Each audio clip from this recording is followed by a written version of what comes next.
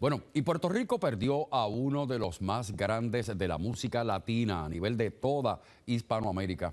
Oiga, se trata de don Roberto Angleró, quien falleció este pasado fin de semana a sus 88 años de edad.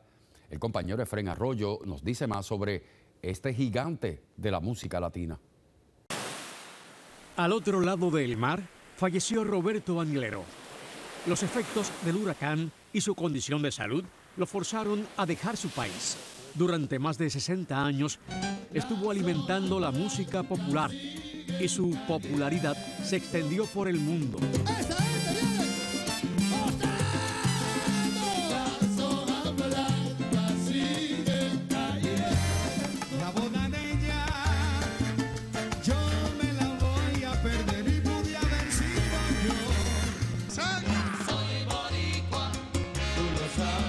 Que ir a Colombia. Yo fui al carnaval de Colombia y ya ellos sabían quién era yo y sabían cuándo había nacido, lo primero que yo hice, tenían mi historia.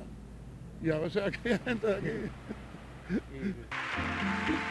Fue La Pared el gran exitazo que lanzó a Roberto Anglero más allá de los mares nuestros. Ahí está la pared que separa tu vida y la mía. Ahí está la pared que no deja que nos acerquemos.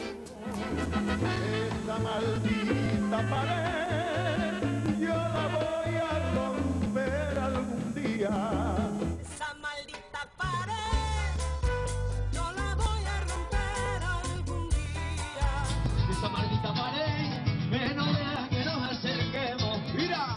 Los años de servicio militar lo expusieron a una nueva realidad para él.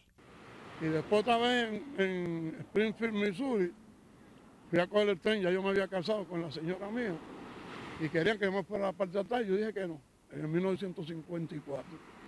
Estuvieron luchando conmigo ahí hasta que me preguntaron que de dónde yo era, yo dije, soy de Puerto Rico. Y ahí aceptaron, y cuando iba al comedor, todo el mundo comía antes, ahí me daban por último.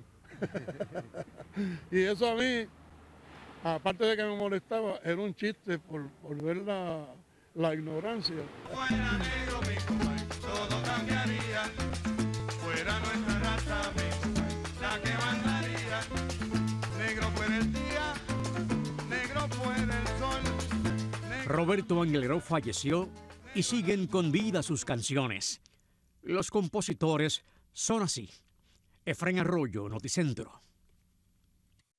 Su Wow. música le sobrevive y lo inmortaliza y son señor. canciones extraordinarias. Todavía retumba por ahí si Dios fuera negro. Claro, Y la gente pa- le encanta. parte de nuestra cultura. Definitivamente. Que descanse Nuestras en paz. condolencias a la familia y que en paz descanse don Roberto Anglero.